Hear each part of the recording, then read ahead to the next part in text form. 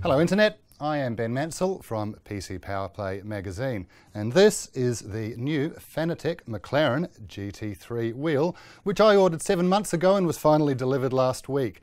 You can buy it now or should you? I've been having red hot goes with it. Let's see if it should be something you should consider or not. I've always thought, and I'm quite sure many of you will agree, that the Formula wheel is just too small. It's not modelled off the Formula One wheels in the real world. A lot of people think they are. In fact, they're modelled off the lower series Formula classes like Formula Renault, GT2, GT3. The advantage of a smaller wheel is quicker rotation. Vroom, vroom. You can move it around really quickly. A larger wheel, slower but more precision, so different types of usefulness. This, I think, fills the middle ground absolutely perfectly, and that's why it's a potential replacement for both the others. And if you're looking at jumping into the Fanatec ecosystem from the get-go and you start with one wheel, which one's it going to be? I think it should be this one.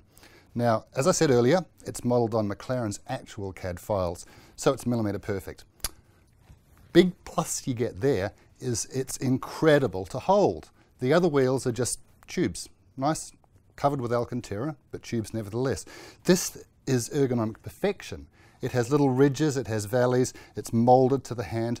You just wrap around it and it feels like you're holding the car and throwing it around. The distance between your hands is absolutely perfect and the buttons are within reach, which of course they should be. So that's one win for this over the Club Sport. Also unique about this wheel, not just the number of buttons they have, but where they are and what they do. Now it's modelled after the McLaren wheel, so there's nothing that Fanatec could have done. They have to put the buttons where they are. That means that these two, I should note, are really heavily sprung. They're a pain to press, but that means you assign the things that you use infrequently, like a pit in request or a pit speed limiter. If you're already racing with the Fanatec gear, you've got the base, and you would know that they've got 15 or 16 different wheels that you can choose from. Most people have one of these, the Formula wheel and it's so similar to the new GT3 wheel, we're going to take a real close look and see which one is better. Should you get both? Should you just get one? Many people also have a proper round steering wheel. Here's the BMW wheel or one like it. So what's really interesting about this new McLaren wheel is it potentially replaces this one and most definitely is a contender for replacing the Formula wheel. Let's talk about how much it costs and is it good value. On its own, it's $260. It comes with the same connector you find on the lower end CSL Elite products from Fanatec, and that means that it screws onto your base and stays there until you unscrew it, as opposed to the Formula wheels, beautiful spring mechanism. Now you can buy the spring mechanism separately for this. It costs $150. I went ahead and bought it because I think that it's a must-have item simply because of the engineering prestige it adds to it. In practical terms, very little gained. It'll cut 15 seconds off the time it takes you to change a wheel, and there really isn't much more to it than that. That means this $260 wheel with the $150 quick release makes it considerably more expensive than the $299 Formula wheel, which includes the quick release. So, my only criticism of Fanatec there is that you should be allowed to choose which connector type you want when you order the wheel because this is going in the rubbish never to be seen again and that's an unnecessary cost. On the more positive side, for the first time, Fanatec has included button caps. These attached to the buttons, as you can see, in their raw form with no buttons attached whatsoever, which is how I like it because the colours look really cool, so that's how I'm going to leave it. But if you want a little windscreen wiper and a headlight on one of your buttons, Fanatec has you accommodated.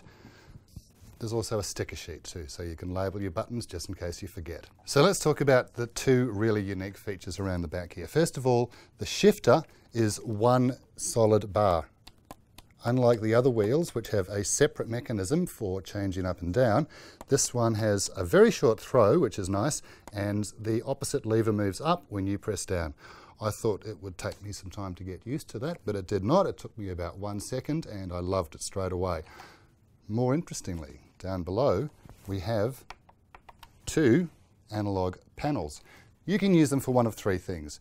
You can map them as buttons, you can use them for accelerator or brake, which is actually really handy for people who do not have the use of their legs because this is the only product out there that lets them have a go at sim racing. Lastly, you can use them as Formula One style launch control. Once you've set the bite point for your car, and you'll have to do that for each car in your collection, hold down that one, put it in first and floor it, hold down the other one, when the lights go green, let go of that one, your car's rolling, let the other clutch out. See you later, boys. So, in conclusion, should you purchase the new Fanatec wheel, the McLaren GT3? I think so, yes, you should. I recommend it thoroughly. If you already have the Formula wheel, the decision becomes a little bit harder. It's almost as good, but better. Uh, it's $300 more that you probably could spend on something else, like a nice set of pedals, so you don't need it. If you're coming into the Fanatec ecosystem from scratch, so you're moving up from one of the Logitech wheels, you're only going to want to buy one wheel from the start to see how you like it. This is the wheel to get. It covers all of your bases, fits in perfectly between the Formula wheel and the other wheels, ha has the added dual clutch, which, which you can use for the launch control, which is undeniably funky.